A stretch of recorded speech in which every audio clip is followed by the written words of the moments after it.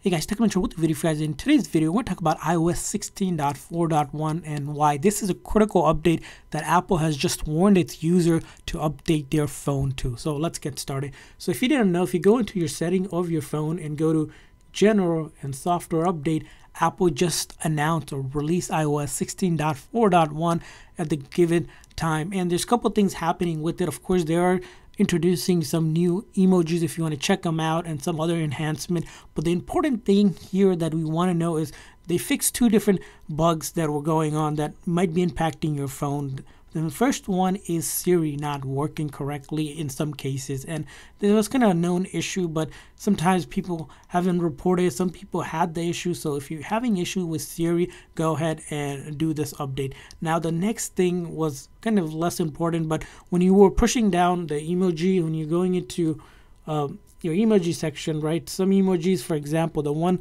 in particular, the hand, you couldn't get the color of the hand so it wasn't working like the color option wasn't available for you so those are kind of the bug fixes on it but the important update itself is around the security update that Apple addresses, which is two big ones. Well, Apple doesn't really go into the technical detail of these uh, security updates. It does mention that basically the first security concern is iOS Surface Accelerator, which is basically an app may be able to execute arbitrary code with kernel level privileges, which again could be really dangerous because when something gets kernel level access, it pretty much can run under the cover without you even realizing it, and your phone could be hacked in that way, and you might not even know it. So it's important that if you have the phone, that's why you want to update it. Along with that one is there's a WebKit security update as well. And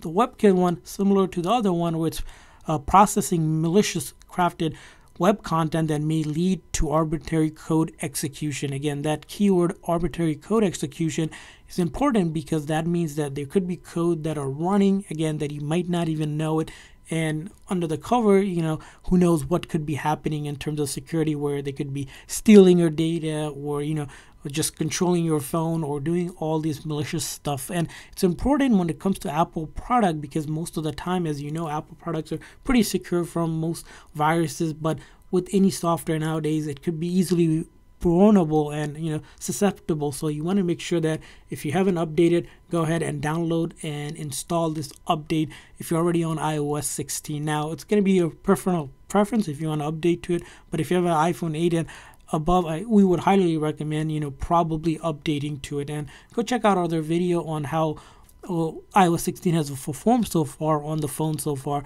We see that iOS 16.4 has been stable so far, haven't had any issues with it. Again, each person has a different experience with it but because this is a security update that's why we're making this video to make sure that you guys are aware that there are two security issues that Apple announced and this is why you probably should consider upgrading as soon as possible. So I hope that this informational video was helpful for you guys. If so, please make sure that like and subscribe button.